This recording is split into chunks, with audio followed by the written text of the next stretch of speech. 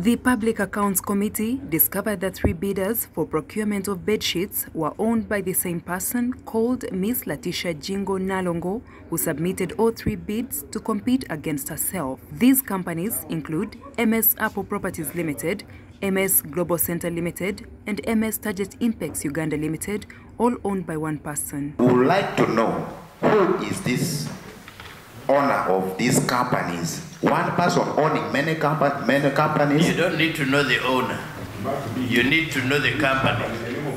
Chair, Chair, The name of the company. We want to know the name of the company. Exactly. it observes that the amount involved is well over 200 million.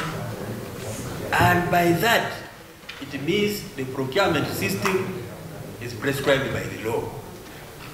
Why did you depart from the requirement of the law? That's the justification that I would love to know from you. The Auditor General faulted the Evaluation Committee, the Head of Procurement and Disposal Unit in the Ministry of Health, and the supplier of bedsheets, Latisha Jingo Nalongo, and recommended that they be held responsible over the anomaly. Which documents do you consider during evaluation as you arrive Including pre-qualification. Yes, uh, as you arrive at the best evaluated bidder. Because I know if I'm pre-qualified, doesn't mean I'm now eliminated from competition.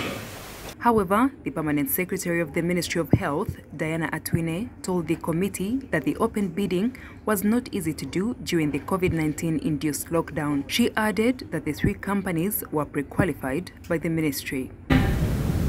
when everything was closed and you could only hear the sound of sirens in, on the, in the roads and the people scrambling for beds and oxygen.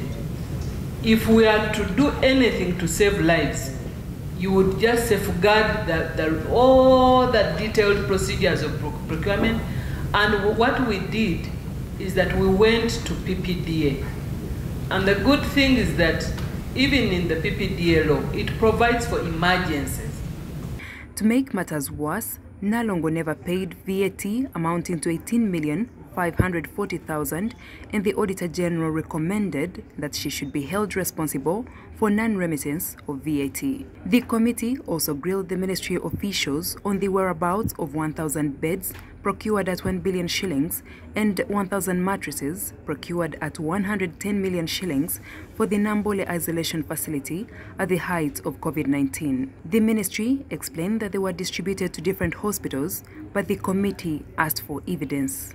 Auditor General is saying you procured a thousand mattresses at a cost of one billion. And uh, that was for Namboole National Stadium Treatment Center. I noted most of these items have been unutilized since the COVID-19 infection rate significantly reduced. Um, COVID had gone down and we were in the process of distributing these beds to different local governments and also hospitals. It was also brought to the attention of the committee that the ministry contracted MS Toyota Uganda Limited for supplying 282 double cabin pickups without accessories under procurement of 24.66 billion shillings.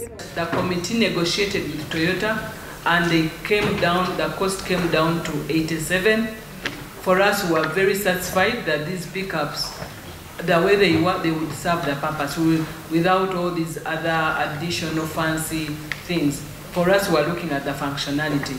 And, and, and so we feel that this was a, a, a fair price and, to, and, and we got value for, for money.